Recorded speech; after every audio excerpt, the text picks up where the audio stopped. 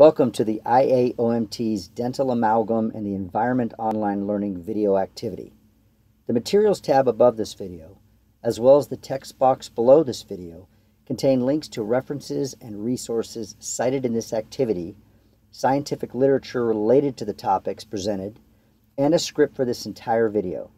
The successful completion of a quiz at the end of this activity is required for individuals participating in an IAOMT course.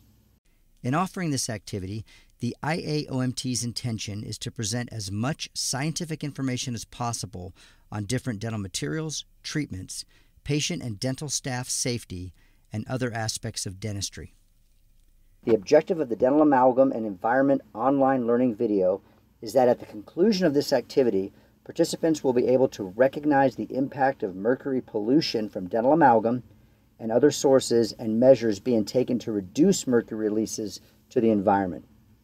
The IAOMT emphasizes that healthcare practitioners must make their own professional judgments for the benefit of themselves and their patients and staffs.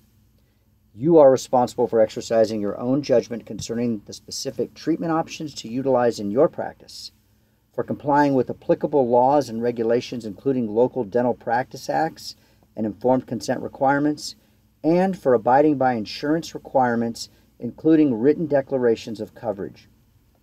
Only proceed if you understand and agree with these statements. If you are ready to proceed, the activity will begin with Dr. Lillian Ebuin providing you with the coursework for this dental amalgam and environment online learning video activity.